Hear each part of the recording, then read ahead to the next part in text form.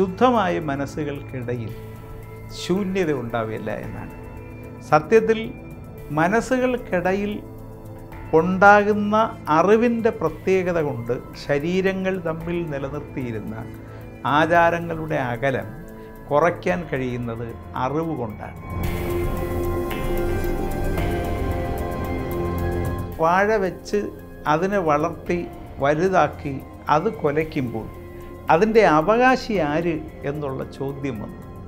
ഈ ചോദ്യത്തിന് കൃത്യമായ ഉത്തരം വാഴക്കൊലയിലൂടെ ചങ്ങമ്പുഴ പറ- പറയാൻ ശ്രമിക്കുകയാണ്. യവന്റെ വീട്ടിന്റെ മുറ്റത്ത് യവന്റെ കൊച്ചുങ്ങൾ കണ്ട് യവന്റെ അധ്വാനത്തിൽ അവന്റെ മണ്ണിൽ അവൻ വളർത്തിയത് വേറൊരാൾക്ക് അതിന്റെ ഫലം അവകാശപ്പെട്ടു വരുമ്പോൾ ആ തെറ്റിനെ ചോദ്യം ചെയ്യാനുള്ള ഒരു ചിന്ത ഒരു രാഷ്ട്രീയ രൂപം പ്രാപിക്കുകയാണ് കേരളത്തിൽ.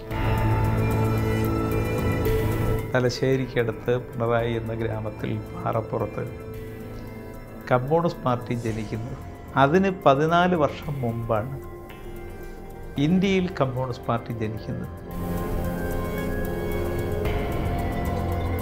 കേരളത്തിലെ രാഷ്ട്രീയം രൂപപ്പെടുന്നത് കേരളത്തിൽ നിന്ന ഫ്യൂഡൽ സംവിധാനം ബ്രാഹ്മണ മേധാവിത്വത്തിന്റെ ആചാരാനുഷ്ഠാനങ്ങളിൽപ്പെട്ട് അതിന്റെ താല്പര്യങ്ങൾ സംരക്ഷിക്കാനുള്ള ഒരുതരം ഫ്യൂഡൽ പ്രഭുത്വ താല്പര്യങ്ങളുടെ കൊടിക്കൂറയും കുടയും മാറ്റിവെക്കാൻ പറ്റാത്തവണ്ണം മനുഷ്യന്റെ എല്ലാ സ്വാതന്ത്ര്യത്തെയും അടിച്ചമർത്തപ്പെട്ട് കിടന്നപ്പോൾ അതിനെതിരായ ചിന്തകളാണ്. ഈ പത്തൊമ്പതാം നൂറ്റാണ്ടിന്റെ അവസാനത്തോടെ ഇന്ത്യയിലും അതുവരെ ഇല്ലാത്തവണ്ണം പ്രക്ഷോഭകാരികളായ നേതാക്കന്മാരുടെ ഒരു വരവുണ്ടാവുന്നുണ്ട് കോൺഗ്രസ് സംഘടന രാജ്യത്ത് രൂപപ്പെടുന്നു അതിന്റെ സമ്മേളനങ്ങളിൽ ചെറുതായിട്ടാണെങ്കിലും രാജ്യത്തിന്റെ ഇടത്തരക്കാരുടെയും അതിനു മുകളിലുള്ളവരുടെയും പ്രശ്നങ്ങളാണെങ്കിലും ജനാധിപത്യപരമായ ചർച്ചയ്ക്ക് വന്നു ചേരുന്നുണ്ട്.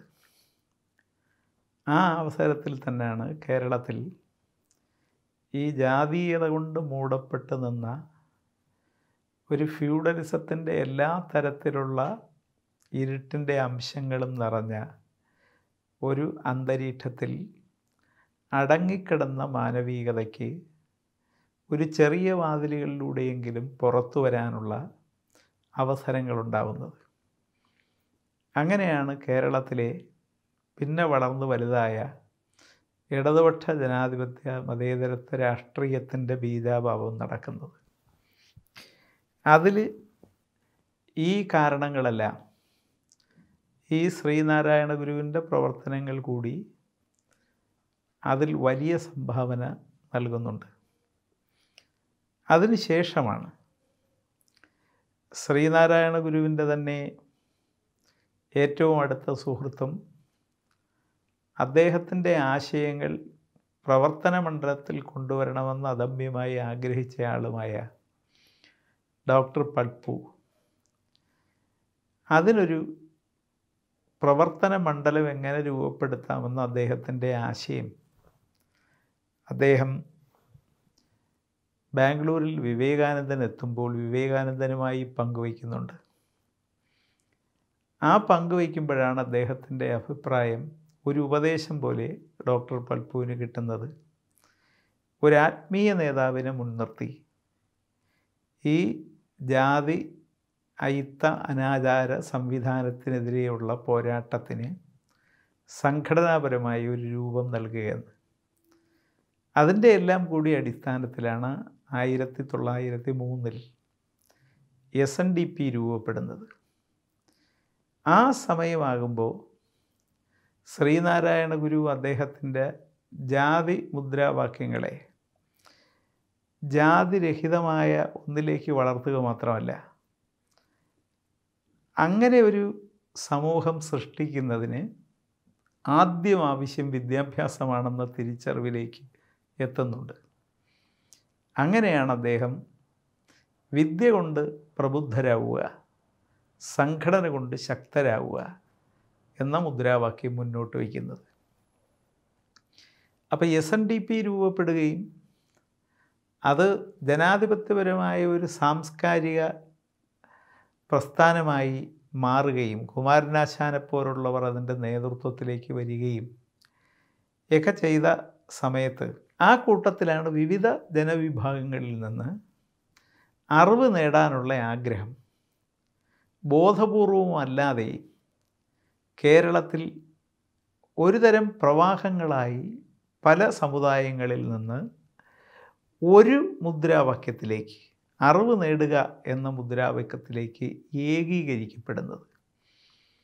അങ്ങനെയാണ് ആയിരത്തി തൊള്ളായിരത്തി ഏഴിൽ അയ്യങ്കാളിയുടെ നേതൃത്വത്തിൽ സാധു ജനപരിപാലന യോഗം ഉണ്ടാവുന്നത്.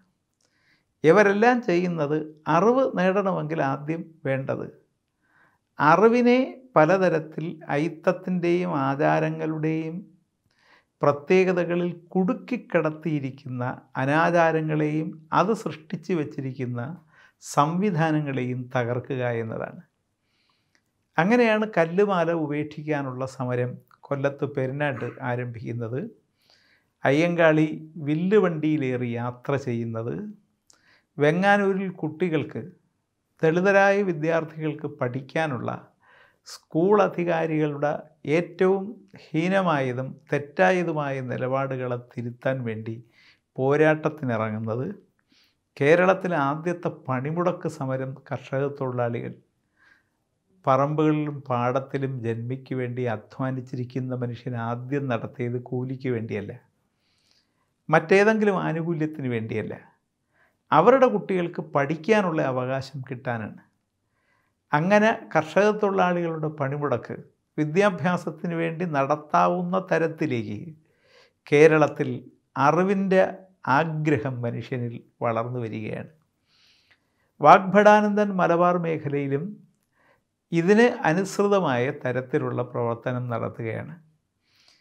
ഇത് കഴിഞ്ഞാണ് എൻ എസ് എസും അത് കേരളത്തിലെ സവർണ സ്വഭാവമുള്ള ഭൂമിയുടെ വലിയ പങ്കിന് അവകാശികളായ അധികാരത്തോടും അതിന്റെ സംവിധാനങ്ങളോടും ഒട്ടൊക്കെ ചേർന്ന് നിന്ന ഒരു സമുദായമാണെങ്കിലും ആ സമുദായത്തിനകത്തുമുള്ള ചില ചില പ്രത്യേകതകളെ തമ്മിൽ തമ്മിൽ തമ്മിലുള്ള വഴക്കുകളെ അത് വിദ്യാഭ്യാസത്തിന്റെ വെളിച്ചത്തിലേക്ക് എത്താൻ സഹായിക്കാത്ത രീതികളെ എല്ലാം മാറ്റിമറിക്കാനാണ് മന്നത്തെ പോലുള്ളവർ സ്കൂളുകൾ ഉണ്ടാക്കാനും വിദ്യാഭ്യാസത്തിലേക്ക് പ്രവേശി പ്രവേശിക്കാനും ആയിരത്തി തൊള്ളായിരത്തി പതിനാലിൽ എൻ എസ് എസ് ഉണ്ടാക്കുന്നത് അങ്ങനെ ആകെ മൊത്തം എല്ലാ സമുദായത്തിലും ഇതിന്റെ അലോചികൾ ഉണ്ടാകുകയാണ്. അതിൽ തന്നെ ബ്രാഹ്മണ സമുദായത്തിന്റെ ഇടയിൽ സ്ത്രീകൾ അനുഭവിച്ചുകൊണ്ടിരുന്ന അത് സൃഷ്ടിച്ചു വെച്ച അനാചാരങ്ങൾ കൊണ്ട് പുതിയ അറിവുകളെ തിരിച്ചറിഞ്ഞ അതിനകത്തുള്ളവർ അതിനെതിരായ പോരാട്ടത്തിലേക്കും കടന്നു വരികയാണ്. അങ്ങനെ കേരളത്തിൽ അറിവിന് വേണ്ടിയുള്ള ഒരു അന്തരീക്ഷം അറിഞ്ഞവർ പരസ്പരം കൈകോർത്തില്ലെങ്കിലും പൊതുവെ അറിവിന് വേണ്ടി അത് കിട്ടാനുള്ള വഴികൾ തേടിയുള്ള യാത്രകൾ പലയിടത്തും ഒരുമിപ്പിക്കുകയും അതൊരു പുതിയ രാഷ്ട്രീയത്തിന്റെ പുതിയ തരത്തിലുള്ള ചിന്തകളുടെ ഒരു കടലൊന്നും സൃഷ്ടിച്ചില്ലെങ്കിലും ഒരുപാട് ഉറവകൾ ഒഴുകിപ്പരക്കുന്നതിന് കേരളത്തിൽ കാരണമായി. ആ അന്തരീക്ഷത്തിന്റെ ഒരു ഘട്ടത്തിലാണ് കേരളത്തിൽ ധാരാളം വിദ്യാ വിദ്യാഭ്യാസ സ്ഥാപനങ്ങളും ധാരാളം അറിവ് നൽകാനുള്ള സംവിധാനങ്ങളും രൂപപ്പെടുകയും ഈ രൂപപ്പെടുന്ന കാലത്താണ് ശ്രീനാരായണ ഗുരുവിന്റെ ഇത്തരം പ്രവർത്തനങ്ങളെ സഹായിക്കാൻ തക്ക തരത്തിൽ ചട്ടമ്പി സ്വാമികൾ ദാർശനികമായി തന്നെ മാനവികതയുടെ ഒരാത്മീയ ഭൗതിക ചേരുവ കേരളത്തിൽ സൃഷ്ടിക്കുന്നത്. അദ്ദേഹം പറഞ്ഞ പ്രധാനപ്പെട്ട ഒരു കാര്യം ശുദ്ധമായ മനസ്സുകൾക്കിടയിൽ ശൂന്യത ഉണ്ടാവില്ല എന്നാണ്. സത്യത്തിൽ മനസ്സുകൾക്കിടയിൽ ഉണ്ടാകുന്ന അറിവിന്റെ പ്രത്യേകത കൊണ്ട് ശരീരങ്ങൾ തമ്മിൽ നിലനിർത്തിയിരുന്ന ആചാരങ്ങളുടെ അകലം കുറയ്ക്കാൻ കഴിയുന്നത് അറിവ് കൊണ്ടാണ്. ആ അറിവ് കൊണ്ടുവരുന്ന വിശുദ്ധിയിലാണ് ഈ അശുദ്ധിയെല്ലാം ഈ മാലിന്യമെല്ലാം ഒഴുകിപ്പോകുന്നത്.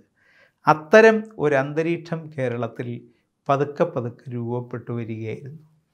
ആ രൂപപ്പെട്ടു വരുന്ന ഘട്ടത്തിലാണ് കുമാരനാശാന്റെ വീണപൂവും ചിന്താവിഷ്ടയായ സീതയും അദ്ദേഹത്തിന്റെ ചണ്ടാലഭിക്ഷയും കരുണയും ലീലയും നല്ലിയും പോലെയുള്ള കേരളത്തിലെ സഹൃദയ ലോകത്തെയും കേരളത്തിലെ ചിന്താമണ്ഡലത്തിലെയും പ്രചോദിപ്പിക്കുകയും അതിനെയെല്ലാം പ്രകോപിപ്പിക്കുകയും ചെയ്ത ദർശനങ്ങൾ വരുന്നത്.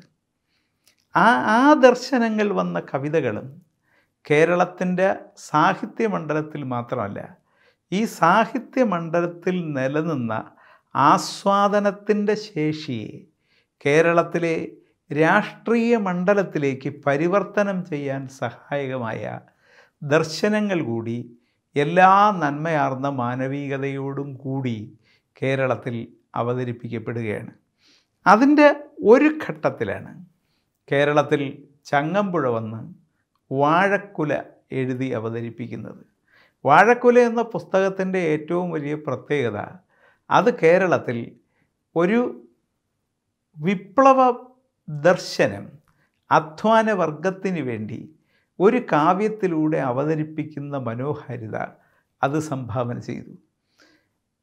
ഒരു വാഴക്കൊല വാഴ വെച്ച് അതിനെ വളർത്തി വലുതാക്കി അത് കൊലയ്ക്കുമ്പോൾ അതിന്റെ അവകാശി ആര് എന്നുള്ള ചോദ്യം വന്നു. ഈ ചോദ്യത്തിന് കൃത്യമായ ഉത്തരം വാഴക്കൊലയിലൂടെ ചങ്ങമ്പുഴ പറയാൻ ശ്രമിക്കുകയാണ്.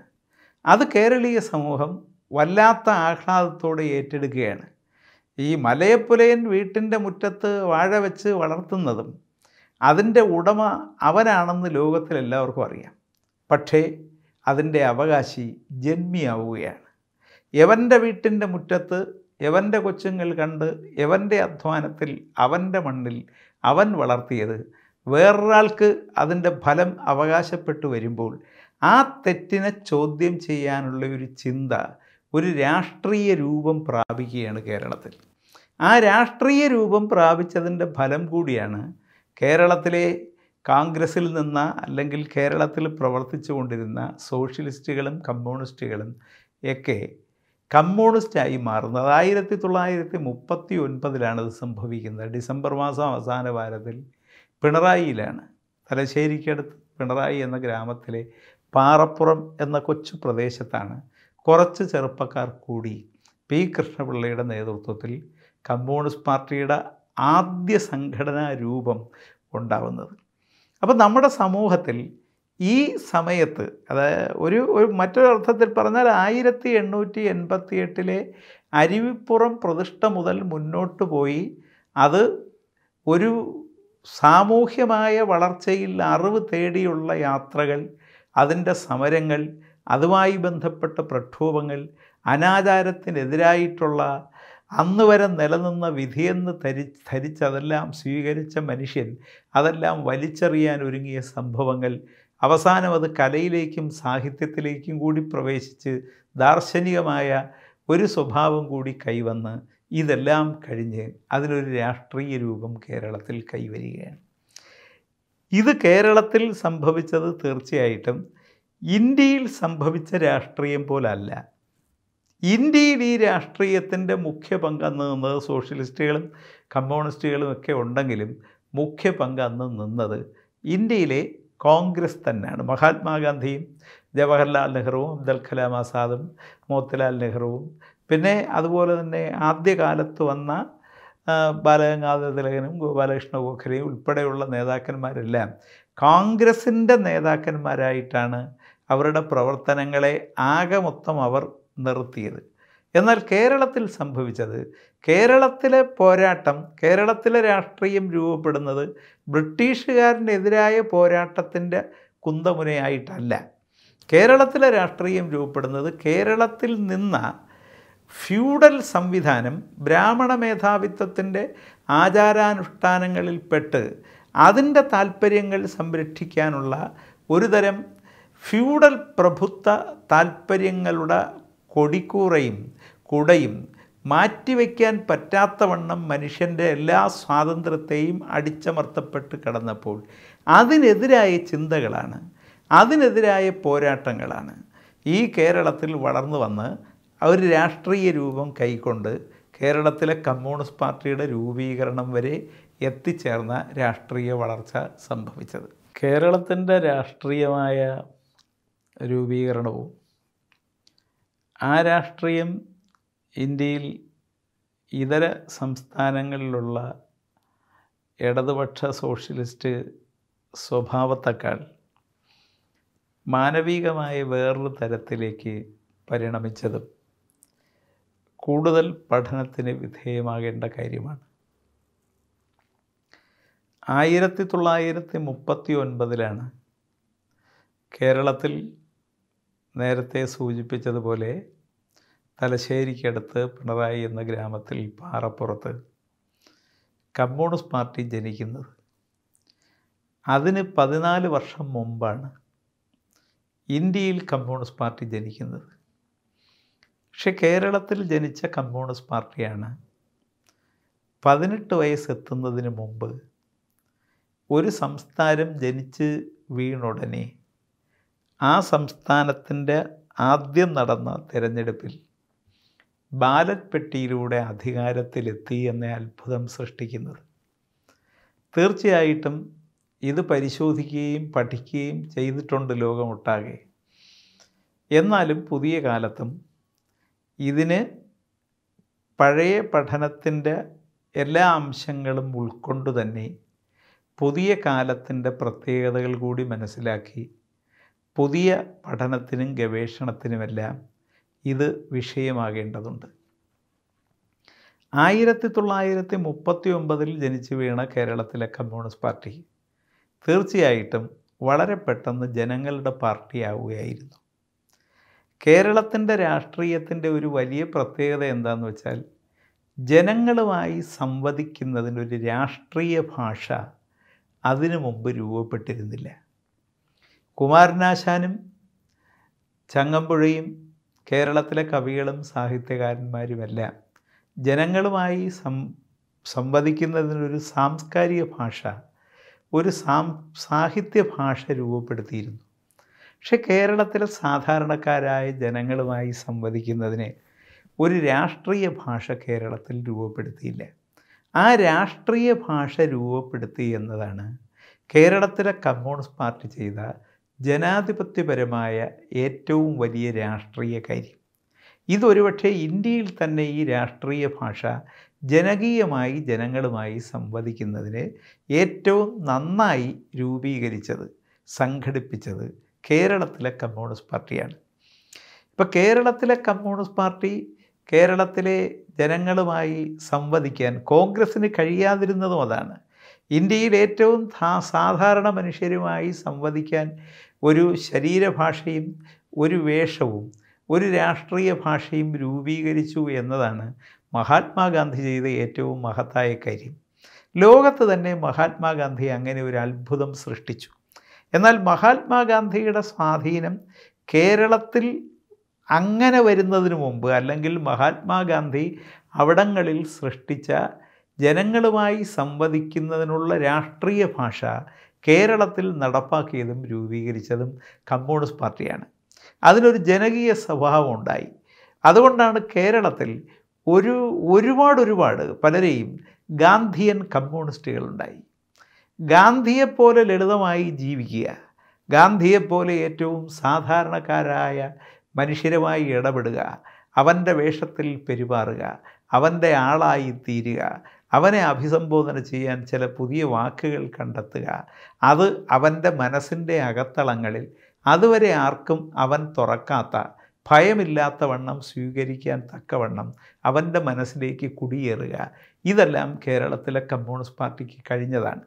ആ കമ്മ്യൂണിസ്റ്റ് പാർട്ടിയാണ് കേരളത്തിൽ ആ കാലത്ത് ഫ്യൂഡലിസ്റ്റ് രീതികൾ അവലംബിച്ച തെറ്റുകൾക്കെതിരെ ചോര പുരണ്ടതും രക്തസാക്ഷികൾ സൃഷ്ടിക്കപ്പെട്ടതുമായ ധീരത ഒരുപാട് നിറഞ്ഞ പോരാട്ടങ്ങൾ കൂടി നിരന്തരം നടത്തിയത്. ഇത് രണ്ടും കൂടി ആയപ്പോഴാണ് ഈ കേരളത്തിൽ ആയിരത്തി തൊള്ളായിരത്തി മുപ്പത്തി ഒൻപതിൽ ജനിച്ച കമ്മ്യൂണിസ്റ്റ് പാർട്ടി ആയിരത്തി തൊള്ളായിരത്തി അൻപത്തി ആറ് നവംബർ ഒന്നിന് പിറന്ന കേരളത്തിൽ അൻപത്തിയേഴിൽ ആദ്യം നടന്ന തെരഞ്ഞെടുപ്പിൽ ലോകത്തെ അത്ഭുതപ്പെടുത്തി ബാലറ്റ് പെട്ടിയിലൂടെ അധികാരത്തിലെത്തുന്നത്. തീർച്ചയായിട്ടും കമ്മ്യൂണിസ്റ്റ് പാർട്ടി എങ്ങനെയാണ് ഈ ജനങ്ങളുമായി സംവദിക്കുന്ന പുതിയൊരു ഭാഷ പുതിയൊരു രാഷ്ട്രീയ രീതി രാഷ്ട്രീയ പ്രവർത്തനത്തിന്റെ ഏറ്റവും താഴെത്തട്ടിലെ ജനങ്ങൾക്ക് സ്വീകരിക്കാവുന്ന ഒരു തരത്തിൽ ആദരവോടെയും ആരാധനയോടെയും സ്വീകരിക്കാവുന്ന ഒരു സംഘടനാ രീതി കൂടി അവലംബിച്ചതെന്ന് നമ്മൾ പഠിക്കേണ്ടതുണ്ട്. അതിന് കേരളത്തിൽ കമ്മ്യൂണിസ്റ്റ് പാർട്ടി അത്തരം ഒരു രീതി സ്വീകരിക്കുമ്പോൾ ആ രീതിയെ പിന്തുണയ്ക്കുന്ന സാഹിത്യം സാംസ്കാരിക മേഖല കലാമേഖല ഒരുപക്ഷെ ഏറ്റവും വലുതായ തരത്തിൽ പിന്തുണ നൽകിയത് ഇന്ത്യയിൽ തന്നെ കേരളത്തിലാണ്. തമിഴ്നാട്ടിലാണ് സിനിമ നാടകം എന്ന് പറയുന്ന കലാരൂപം ഈ ദ്രാവിഡ പ്രസ്ഥാനത്തിന്റെ വേരിറക്കത്തിന് പലതരത്തിൽ സഹായിച്ചതെങ്കിൽ കേരളത്തിൽ ഇടതുപക്ഷ പ്രസ്ഥാനത്തിന്റെ ജനകീയ പോരാട്ടങ്ങൾക്കും ജനകീയമായ ഒത്തുചേരലിനും കേരളത്തിലെ സാംസ്കാരിക മേഖലയും കലാമേഖലയും വല്ലാതെ പിന്തുണ നൽകി. ഒരുപക്ഷെ ആ കാലത്തെ എഴുത്തുകാരെല്ലാം. കമ്മ്യൂണിസ്റ്റാണെന്ന് പറയും വിധം കമ്മ്യൂണിസ്റ്റുകാരൻ പറഞ്ഞ ജനങ്ങളുടെ പ്രശ്നങ്ങൾ കഥകളായും കവിതകളായും മറ്റ് കലാരൂപങ്ങളായും അവതരിപ്പിക്കുകയായിരുന്നു. ഇങ്ങനെ കേരളത്തിൽ കേരളത്തിലെ ഏറ്റവും താഴെത്തട്ടിലെ ജനങ്ങൾക്ക് അതുവരെ ഇല്ലാതിരുന്ന എല്ലാം അവർക്ക് വേണ്ടി ഒരു രാഷ്ട്രീയവും കലയും പാട്ടും സംഗീതവും അവരോടൊപ്പം ചേർന്ന് നിൽക്കുന്ന ഒരു സാമൂഹ്യ ലോകവും കേരളത്തിൽ സൃഷ്ടിക്കുകയായിരുന്നു. ആ സൃഷ്ടിച്ചതിന്റെ പ്രതിഫലനമാണ് മറ്റെല്ലാ തരത്തിലുള്ള എതിർപ്പുകളുണ്ടായിട്ടും പണമില്ലാതിരുന്നിട്ടും ജാതിയും മതവുമെല്ലാം നിറയെ നിന്നിട്ടും ആയിരത്തി തൊള്ളായിരത്തി അൻപത്തി ഏഴിലെ കേരളം പിറന്നു വീണുടനെ നടന്ന തെരഞ്ഞെടുപ്പിൽ കേരളം എന്ന പുതിയ കുട്ടിയെ ഇന്ത്യ പ്രസവിച്ച് ഇതിനെ ആര് വളർത്തും എന്ന ചോദ്യത്തിന് ഇത് കമ്മ്യൂണിസ്റ്റുകാരൻ കെട്ടിയ തൊട്ടിലിൽ അവന്റെ വിപ്ലവ പാട്ടുകൾ കേട്ടി കുട്ടി ഉറങ്ങി ഉണർന്ന് വളരും എന്ന് പ്രഖ്യാപിക്കും വിധം കേരളത്തിൽ വിജയം കൈവരിക്കാൻ കമ്മ്യൂണിസ്റ്റ് പാർട്ടിക്ക് കഴിഞ്ഞത്. ആയിരത്തി തൊള്ളായിരത്തി അൻപത്തി ഏഴിലെ കേരളത്തിൽ നടന്ന ആദ്യ തെരഞ്ഞെടുപ്പിൽ കമ്മ്യൂണിസ്റ്റ് പാർട്ടിയുടെ അധികാരത്തിലേക്കുള്ള വഴിയൊരുക്കത്തിന് കേരളത്തിൽ തീർച്ചയായിട്ടും ചില ഘടകങ്ങൾ പ്രവർത്തിച്ചിരുന്നു. ഏറ്റവും പ്രധാനപ്പെട്ട കാര്യം ഇന്ത്യയിലെമ്പാടും ആ സമയത്ത് നിറയെ നിൽക്കുന്ന ഒരു പാർട്ടി കോൺഗ്രസ്സാണ്. കോൺഗ്രസ്സിന് ജവഹർലാൽ നെഹ്റുവിന്റെ അജയ്യമായ നേതൃത്വമാണുള്ളത്. നെഹ്റുവിന്റെ പിന്തുണയുണ്ടെങ്കിൽ നെഹ്റു പ്രചാരത്തിനുണ്ടെങ്കിൽ നെഹ്റു ചൂണ്ടിക്കാണിക്കുന്ന ഒരു സ്ഥാനാർത്ഥിയെ തോൽപ്പിക്കാൻ തക്ക കരുത്ത് ഇന്ത്യയിൽ ഒരു രാഷ്ട്രീയ പ്രസ്ഥാനത്തിനും അന്നുണ്ടായിരുന്നില്ല. അതുകൊണ്ടാണ് ആയിരത്തി തൊള്ളായിരത്തി അൻപത്തിരണ്ടിലെ ഇലക്ഷനിൽ നെഹ്റുവിന്റെ മന്ത്രിസഭയിൽ നിന്ന് രാജിവെച്ച് മാറി മറ്റൊരു പാർട്ടി ഉണ്ടാക്കി മത്സരിച്ച. ഒരുപക്ഷെ ഇന്ത്യയിലെ ആ കാലത്തെ ഏറ്റവും ബുദ്ധിമാനെന്ന് ലോകം വിശേഷിപ്പിച്ച ഇന്ത്യൻ ഭരണഘടനാ നിർമ്മാണത്തിന്റെ ചെയർമാൻ പദവി വഹിച്ച് അത് നിർവഹിച്ച ഡോക്ടർ അംബേദ്കർ തോറ്റുപോയി. കാരണം അംബേദ്കർക്കെതിരെ മത്സരിച്ച കോൺഗ്രസ് സ്ഥാനാർത്ഥി ഒരു പാൽക്കാരൻ കൂടിയായിരുന്നു. ഒരു പാൽ വിൽപ്പനക്കാരനായ കജ്റോൾക്കറെ ജയിപ്പിക്കാൻ തക്ക മാസ്മരിക വ്യക്തിത്വം നെഹ്റുവിനുണ്ടായിരുന്നു. പക്ഷേ നെഹ്റു തന്നെ അംബക്കർ അംബേദ്കറുടെ പരാജയക്കുറി പരാജയത്തെക്കുറിച്ച് പറഞ്ഞത് ഇത് ജനാധിപത്യത്തിന്റെ ഒരു തകരാറാണെന്നാണ്. ജനാധിപത്യത്തിൽ ചിലപ്പോൾ രാജ്യത്തിന് വേണ്ടി ജയിക്കേണ്ട ചിലർ ചില വ്യക്തിപ്രഭാവത്തിന്റെയോ ചില മാസ്മരിക പ്രതിഭാസങ്ങളുടെയോ പ്രത്യേകത കൊണ്ട് തോറ്റുപോകാം. അതിന്റെയിൽ പലപ്പോഴും സംഭവിച്ചിട്ടുണ്ട്. അപ്പോൾ അംബേദ്കർ ഉൾപ്പെടെ തോറ്റു. ആ ഇലക്ഷനിൽ ആയിരത്തി തൊള്ളായിരത്തി അൻപത്തിരണ്ടിലെ ഇന്ത്യയിലെ ആദ്യത്തെ പാർലമെന്റ് ഇലക്ഷനിൽ ഇന്ത്യയിൽ ഏറ്റവും അധികം പോളിംഗ് ശതമാനം രേഖപ്പെടുത്തിയത് കേരളത്തിലാണ്. കേരളത്തിലെ കോട്ടയം ലോക്സഭാ മണ്ഡലത്തിലാണ്. ഏറ്റവും കുറവ് മധ്യപ്രദേശിലെ ഇപ്പോഴും ചിലയിടത്ത് അങ്ങനെയാണ് ചില പിന്നോക്ക മണ്ഡലങ്ങളിലാണ്. ആ ഇലക്ഷന്റെ മറ്റൊരു പ്രത്യേകത ആ ഇലക്ഷനിൽ ജവഹർലാൽ നെഹ്റു വലിയ ഭൂരിപക്ഷത്തിലാണ് ജയിക്കുന്നത്. പക്ഷേ ആ ഇലക്ഷനിൽ ഇന്ത്യയിൽ ഏറ്റവും വലിയ ഭൂരിപക്ഷം കിട്ടിയത് ഒരു കമ്മ്യൂണിസ്റ്റ് പാർട്ടി നേതാവായ അരിവാൾ നിൽക്കതിരടയാളത്തിൽ മത്സരിച്ച സ്ഥാനാർത്ഥിയാണ് ആയിരത്തി തൊള്ളായിരത്തി അൻപത്തിരണ്ടിൽ. ആ മത്സരം നടന്നത് ആന്ധ്രയിലാണ്. ആന്ധ്രയിലെ കമ്മ്യൂണിസ്റ്റ് നേതാവായ അദ്ദേഹം ആദ്യം കമ്മ്യൂണിസ്റ്റ് നേതാവായിരുന്നില്ല അദ്ദേഹം കിസാൻ നേതാവായിരുന്നു. അത് കഴിഞ്ഞ് രാജേഷ റാവുവിനോടൊപ്പം തെലങ്കാന സമരത്തിൽ പങ്കുചേർന്ന് തെലങ്കാന സമരത്തിന്റെ കൂടി നേതാക്കന്മാരിൽ ഒരാളായ രവിനാരായണ റെഡ്ഡിയാണ്. ഏതാണ്ട് അഞ്ചേകാൽ ലക്ഷം വോട്ടിന്റെ ഭൂരിപക്ഷത്തിൽ ആന്ധ്രയിൽ നിന്ന് ലോക്സഭയിലേക്ക് തിരഞ്ഞെടുക്കപ്പെടുന്നത്. അതുകൊണ്ട് തന്നെ ആ തെരഞ്ഞെടുപ്പ് കഴിഞ്ഞ് അത് തൊട്ടു വരുന്ന പഞ്ചായത്ത് തിരഞ്ഞെടുപ്പുകളിലും കൂടിയൊക്കെ കഴിഞ്ഞപ്പോൾ ഇന്ത്യയിലെ പലരും പറഞ്ഞത് ഇന്ത്യയിൽ ഒരു സംസ്ഥാനത്ത് കമ്മ്യൂണിസ്റ്റ് പാർട്ടി ബാലറ്റ് പെട്ടിയിലൂടെ അധികാരത്തിലെത്തുമെങ്കിൽ അത് ആന്ധ്രയിൽ ആണെന്നാണ്. കാരണം ആന്ധ്രയിൽ അത്തരം ഒരു വിപ്ലവാന്തരീക്ഷത്തിന്റെ ബാക്കി നീക്കിയായി കമ്മ്യൂണിസ്റ്റ് പാർട്ടിക്ക് ഒരു വീരാരാധനയുടെ പരിവേഷം ആന്ധ്രയിലെ ഏറ്റവും സാധാരണക്കാരായ പ്രത്യേകിച്ച് കർഷകർക്കും കർഷക തൊഴിലാളികൾക്കും ഇടയിൽ നിലനിന്ന ഒരു ഘട്ടത്തിൽ കേരളത്തിൽ അത്തരം ഒരു അന്തരീക്ഷമല്ല ഉണ്ടായിരുന്നത്. പക്ഷേ കേരളത്തിലെ കമ്മ്യൂണിസ്റ്റ് പാർട്ടി പതുക്കെ പതുക്കെയാണ് വളർന്നു വന്നത്. ആ പതുക്കെ പതുക്കെ വളർന്നു വന്ന കമ്മ്യൂണിസ്റ്റ് പാർട്ടി ചില ചില സംവിധാനങ്ങളിലൂടെയാണ് കേരളത്തിൽ അൻപത്തിയേഴിൽ അധികാരത്തിൽ എത്താൻ തക്ക തരത്തിൽ ഒരൊറ്റ പാർട്ടി എന്ന നിലയിൽ കേരളത്തിലെ ഏറ്റവും വലിയ പാർട്ടിയായി മാറുന്നത്. ഈ എം എന്റെയും എ കെ ജിയുടെയും ഇ എം എസിന്റെയും മറ്റ് കമ്മ്യൂണിസ്റ്റ് പാർട്ടിയുടെ നേതാക്കന്മാരുടെയും ജീവിത കഥകളെല്ലാം പരിശോധിക്കുമ്പം തീർച്ചയായും നമുക്ക് ഒരുപാട് തരത്തിലുള്ള അവരെങ്ങനെയാണ് ജനങ്ങളിലേക്ക് ഇറങ്ങിച്ചെന്നതെന്ന പ്രത്യേകതകൾ കാണും. ഇപ്പം എ കെ ജിയുടെ ജീവിതകഥയിൽ അദ്ദേഹം പറയുന്നുണ്ട് അദ്ദേഹം ഈ തിരുക്കൊച്ചിയിൽ കമ്മ്യൂണിസ്റ്റ് പാർട്ടിക്ക് പ്രവർത്തിക്കുന്നതിനുള്ള സ്വാതന്ത്ര്യം ഉണ്ടായിരുന്നു. പക്ഷേ തിരുവിതാംകൂറിലുണ്ടായിരുന്ന ആ സ്വാതന്ത്ര്യം കൊച്ചിയിലും മലബാറിലും ഉണ്ടായിരുന്നില്ല. ആലുവ വരെ ആലുവ റെയിൽവേ സ്റ്റേഷൻ മൈതാനം വരെ പൊതുയോഗം നടത്താനും പ്രചരിപ്പിക്കാനും ഒക്കെയുള്ള അനുവാദം ഉണ്ടായിരുന്നു. ഈ ഈ തിരുവിതാംകൂറിലുള്ള സ്വാതന്ത്ര്യം മുതലാക്കുന്നതിന് തിരുവിതാംകൂറിൽ നടക്കുന്ന പ്രക്ഷോഭ സമരങ്ങളെ സഹായിക്കുന്നതിന് എ കെ ജി പറയുന്നത് എ കെ ജി കണ്ണൂരിൽ നിന്ന് ആലുവയിൽ ഒരു ദിവസം രാവിലെ ട്രെയിൻ ഇറങ്ങി. അവിടെ വൈകിട്ടൊരു പൊതുയോഗത്തിൽ പ്രസംഗിക്കുന്നതിന് കമ്മ്യൂണിസ്റ്റ് പാർട്ടിയുടെ കൊച്ചിയിലുള്ള ഓഫീസിൽ അദ്ദേഹം എത്തിച്ചേരുകയാണ്.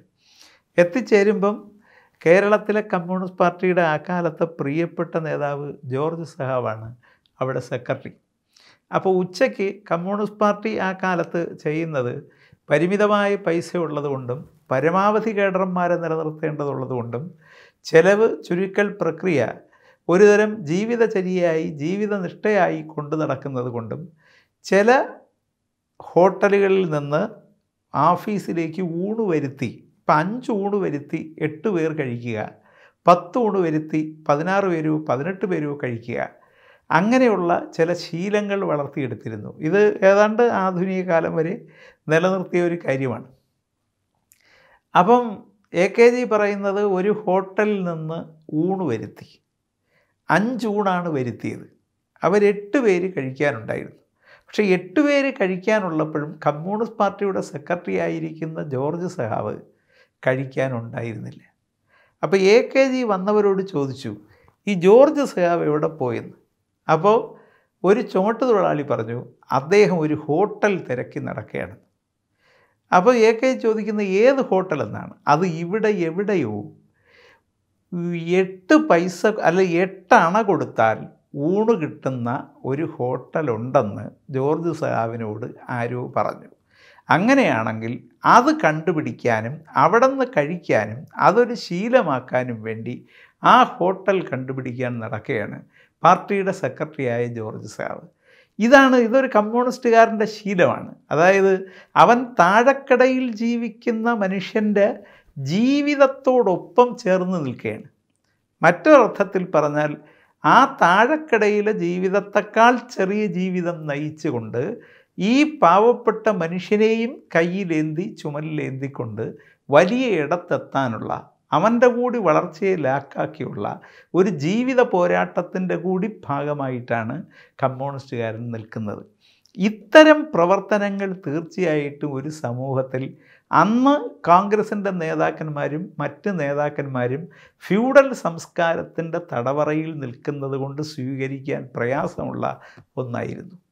ആ സ്വീകരിക്കാൻ പ്രയാസമുള്ള ഒരു രാഷ്ട്രീയം അത് മറികടന്നാണ് കമ്മ്യൂണിസ്റ്റുകാരൻ ഒരു ഗാന്ധിയൻ രീതിയിൽ ഏറ്റവും താഴെത്തട്ടിലേക്ക് എത്തുകയും അവന്റെ ജീവിത പ്രയാസങ്ങൾ എത്രത്തോളമാണെന്ന് കണ്ടറിയുകയും അതിനോട് യാതൊരു മനച്ചാഞ്ചല്യവുമില്ലാതെ പങ്കുചേരുകയും ആ ജീവിതവുമായി ലയിക്കുകയും അവന്റെ ആളാവുകയും ചെയ്തുകൊണ്ടാണ് കമ്മ്യൂണിസ്റ്റുകാരൻ ഈ അൻപത്തി ഏഴിലേക്ക് ഇന്ത്യയിൽ മറ്റൊരു സംസ്ഥാനത്തിനും കഴിയാത്ത തരത്തിൽ ജനങ്ങളുടെ പാർട്ടിയായി വളർന്നത്. ആ ജനങ്ങളുടെ പാർട്ടിയായി വളർന്ന് ആ കാലത്ത് ആയിരത്തി തൊള്ളായിരത്തി അൻപത്തി ഏഴിൽ കമ്മ്യൂണിസ്റ്റ് പാർട്ടിയുടെ സംസ്ഥാന സെക്രട്ടറി ആ എലക്ഷൻ നടക്കുന്നത് വരെ അച്യുതമേനോനായിരുന്നു.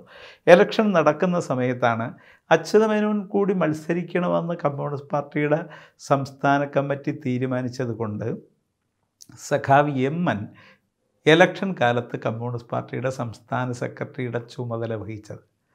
എമ്മന്റെ ആ കാലത്തെ പ്രവർത്തനങ്ങളെക്കുറിച്ച് ചില അദ്ദേഹത്തിന്റെ തീരുമാനങ്ങളെക്കുറിച്ച് അതിന്റെ ജനകീയമായ രീതികളെക്കുറിച്ച് കേരളം ഒരുപാട് തവണ ചർച്ച ചെയ്തതാണ്. എം എൻ എ ലോകത്തുള്ള ആ വിധേയം കഴിഞ്ഞ് ഒരുപാട് പത്രപ്രവർത്തകരും ഗവേഷകരും പഠനം നടത്താൻ ആഗ്രഹിക്കുന്നവരുമൊക്കെ വന്ന് ഇന്റർവ്യൂ നടത്തുകയും അദ്ദേഹത്തിന്റെ പ്രവർത്തനങ്ങളെ പഠിക്കുകയും ചെയ്തിട്ടുള്ളതാണ്.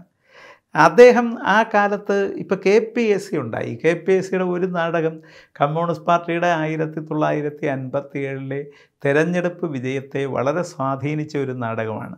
അത് തോപ്പിൽ ഫാസി എഴുതി സംവിധാനം ചെയ്ത് ആയിരക്കണക്കിന് സ്റ്റേജുകളിൽ അവതരിപ്പിച്ച ആവർത്തിച്ചാവർത്തിച്ച് മനുഷ്യൻ പോയി ആയിരങ്ങൾ കൈയടിച്ച് വെളുപ്പാൻ കാലത്തും കണ്ണുമയ്ക്കാതെ നോക്കിക്കണ്ട. നിങ്ങൾ എന്നെ കമ്മ്യൂണിസ്റ്റാക്കി എന്ന നാടകമാണ്. ആ നാടകത്തിന്റെ പ്രത്യേകത കേരളത്തിലെ ഒരു ഫ്യൂഡൽ സ്വഭാവമുള്ള ഒരു കർഷകനായ മനുഷ്യൻ അവസാനം കമ്മ്യൂണിസ്റ്റ് ആകാൻ ആഗ്രഹിക്കുന്നതാണ്. അദ്ദേഹം അവസാനം മകന്റെ കയ്യിൽ നിന്ന് ചെങ്കൊടി മേടിക്കുകയാണ്. അതൊരു പൊളിറ്റിക്കൽ സ്റ്റേറ്റ്മെന്റാണ് അതായത് കേരളത്തിന്റെ രാഷ്ട്രീയ മാറ്റം എങ്ങനെയെന്ന് കൃത്യമായി ഒരു നാടകത്തിലൂടെ പറയുകയാണ്. ആ നാടകത്തിലൂടെ പറയുമ്പോൾ ആയിരക്കണക്കിന് മനുഷ്യൻ ഓരോ വേദിയിൽ നിന്ന് ഇത് കേൾക്കുന്ന നേരത്ത് സദസ്സിലിരുന്ന് കൈയടിച്ചത് ഏറ്റുവാങ്ങുകയാണ്. അങ്ങനെ ഒരു നാടകം കേരളത്തിലെ രാഷ്ട്രീയ മാറ്റത്തിന്റെ ആകമൊത്തം ഘടകമായി മാറുന്നതിൽ ഒരു പങ്ക് നന്നായി വഹിച്ചത് നിങ്ങൾ എന്നെ കമ്മ്യൂണിസ്റ്റാക്കി എന്ന നാടകമാണ്. അത്തരം പ്രസ്ഥാനങ്ങളുടെ രൂപീകരണത്തിനും അതിന്റെ വളർച്ചയ്ക്കും അതിലേക്ക് കലാകാരന്മാരെ എത്തിക്കുന്നതിനും ഒരുപാടൊരുപാട് ഒരുപാട് പേരെ പലതരത്തിൽ കമ്മ്യൂണിസ്റ്റ് പാർട്ടിയുടെ തെരഞ്ഞെടുപ്പ് പ്രവർത്തനങ്ങളുമായി മാത്രമല്ല കമ്മ്യൂണിസ്റ്റുകാരന്റെ ജീവിത പ്രവർത്തനങ്ങളുമായി സാമൂഹ്യ പ്രവർത്തനങ്ങളുമായി ബന്ധിപ്പിക്കുന്ന അപാരമായ ഒരു സംഘടനാ പാഠവുമാണ് ആ കാലത്ത് എമ്മനെപ്പോലുള്ള നേതാക്കന്മാർ കേരളത്തിൽ നിർവഹിച്ചിട്ടുള്ളത്. അൻപത്തിയേഴിലെ കമ്മ്യൂണിസ്റ്റ് പാർട്ടി വിജയത്തെക്കുറിച്ച് ലോകത്ത് തന്നെ ഒരുപാട് തരത്തിലുള്ള സംവാദങ്ങൾ രൂപപ്പെട്ടിട്ടുണ്ട്. ആ സംവാദങ്ങളിൽ ഏറ്റവും വലിയ സംവാദമാകാൻ ഒരു വാർത്ത പറഞ്ഞത് അല്ലെങ്കിൽ ഒരു ആശയം മുൻവെച്ചത് ജവഹർലാൽ നെഹ്റുവാണ്. ജവഹർലാൽ നെഹ്റുവിന് കമ്മ്യൂണിസ്റ്റ് ആശയത്തോട് വലിയ എതിർപ്പൊന്നും ഉണ്ടായിരുന്നയാളല്ല പക്ഷേ കമ്മ്യൂണിസ്റ്റ് പാർട്ടി അദ്ദേഹത്തിന്റെ പാർട്ടിയെ കേരളത്തിൽ പരാജയപ്പെടുത്തിയത്. അദ്ദേഹം ഇന്ത്യയിൽ അജയ്യനായ ഒരുപക്ഷെ ഈ ഒരു ട്രൈ കളർ കോട്ട കെട്ടി അതിനകത്ത് ഒരു ഈച്ചയ്ക്ക് പോലും പറന്ന് കയറണമെങ്കിൽ തന്റെ അനുവാദം വേണമെന്ന് ആഗ്രഹിക്കുന്ന തരത്തിൽ ഇന്ത്യ ഭരിച്ച നേതാവായിരുന്നു ജവഹർലാൽ നെഹ്റു. അദ്ദേഹത്തിന് ആ വിധേയത്തെ ആ തരത്തിൽ ജനാധിപത്യപരമായി ഉൾക്കൊള്ളാൻ കഴിഞ്ഞില്ല. അതുകൊണ്ട് അദ്ദേഹം പറഞ്ഞത് കമ്മ്യൂണിസ്റ്റുകാരന്റെ വിജയമല്ലത് കോൺഗ്രസിന്റെ പരാജയമാണെന്നാണ്. അതിൽ നെഹ്റുവിന്റെ ഭാഷാ വൈദിത്യം മാത്രമല്ല നെഹ്റുവിന്റെ ഒരു ദർശനം കൂടി അതിനകത്ത് ഉൾക്കൊള്ളിച്ചിട്ടുണ്ട്. അത് നമുക്ക് പിന്നാലെ ചർച്ച ചെയ്യാവുന്നതാണ്. മറ്റു തരത്തിൽ ലോകത്തിലുള്ളവർ പറഞ്ഞത് ഇത് കമ്മ്യൂണിസ്റ്റുകാരുടെ വിജയമാണ്.